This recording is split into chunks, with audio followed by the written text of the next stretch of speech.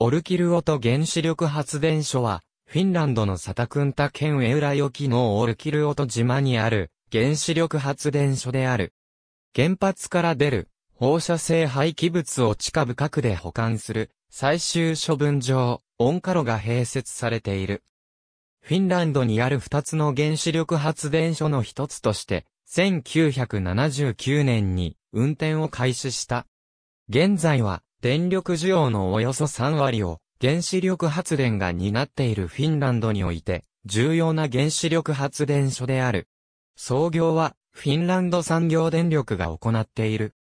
オルキルオト原子力発電所では約500名が働いており、農水業の従事者が多く、大規模な企業体の少ない地元のエウラヨキ自治体では、最大の雇用の場となっている。そのため、地元も原発の立地には概ね賛成のようである。なお、エウラヨキ自治体の人口は約6000人である。近年、フィンランドでは、情報技術産業の発展に伴う電力需要の急増がある。だが、原子力を除くフィンランドの発電能力は、現時点では、実質的に頭打ちになっており、電力の一部を輸入に頼っている。そのため、オルキルオト原子力発電所では、原子炉の増設が進んでいる。オルキルオト原子力発電所は、フィンランド南西部に位置するエウラ沖に属する、バルト海のボスニア湾に面したオルキルオト島に立地している。近隣に大規模な都市圏はなく、最大の都市はエウラヨキ市である。地盤は盤石であり、強固。交通は、オルキルオト島を通る、オルキルオト道路のみである。ここでは、公式の表記に合わせて、各原子炉を OL1 といったように記している。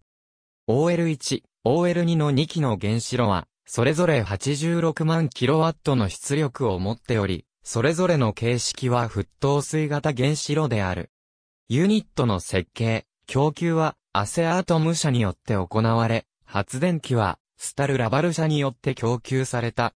OL1 は1978年7月に最初の臨界を達成し、1979年10月に商業運転を開始した。また、OL2 は1979年10月に最初の臨界を達成し、1982年7月商業運転を開始している。営業運転終了は、OL1 が2039年、OL2 が2042年になっている。急増する電力需要に対応するため、フィンランド産業電力は、ユニット3の許可申請を2000年12月に、フィンランド政府に行い、試運転日を2009年5月に設定した。しかし、2009年5月に計画の都合がつかず、また予算超過が起こることになってしまい、試運転期限が数回延期されている。営業運転開始は2013年を予定していたが、2016年以降に延期となっている。この計画はアレバとシーメンスの合弁会社であるアレバ NP が始めたが、現在はシーメンスは事業から撤退しアレバが行っている。建設は2005年に始まったが、技術に関する問題が遅延を引き起こしている。最初に現れた問題は、原子炉の基礎コンクリートの凹凸の発生であった。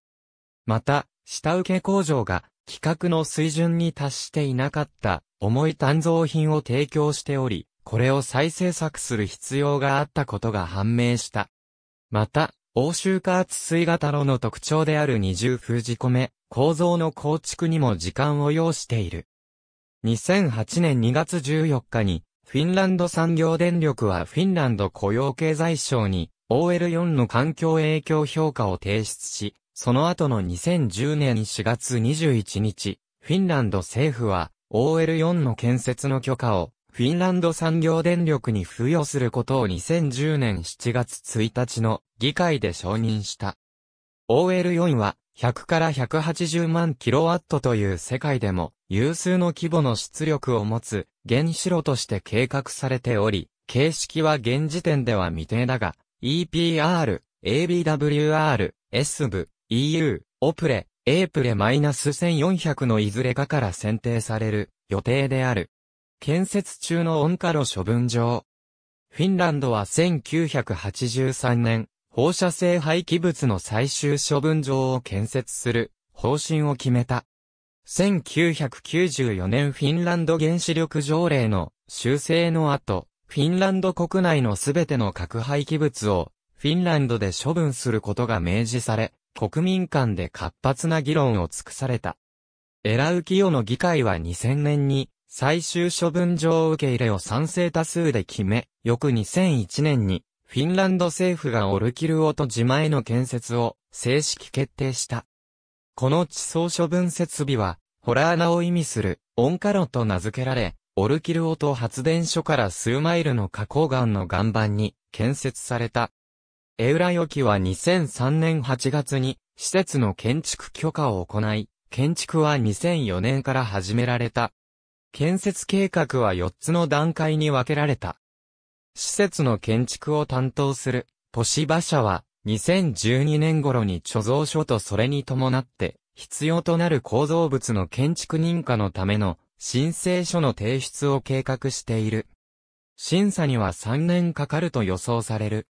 オンカロ処分場は100年分程度のキャニスターを受け入れる大きさがあると予想されている。処分場が満杯になった後は最終的にトンネルごと埋め立てられて密封される。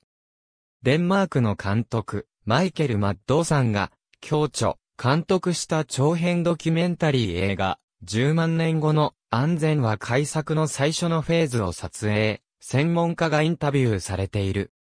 映画の視点は、地層処分の意味論的困難さに向いており、貯蔵所が遠い未来の人間にとっての危険として示されている。また、フジテレビの、その後でも、オンカロが取り上げられている。ただし、原子炉本体を含む核廃棄物の地中処分は、アメリカ合衆国でも長年の歴史がある、放射能処分方法で、オンカロが先進的な試みというわけではない。埋設のため地下400メートル超の深さまで坑道が掘られている。稼働すれば100から120年かけて、最大6500トンの放射性、廃棄物入りキャニスターを貯蔵。その後はベントナイトで密閉し、10万年以上かけて、放射能の減衰を待つ計画である。ビジターセンターがあり、年2万人の見学者が訪れる。ありがとうございます。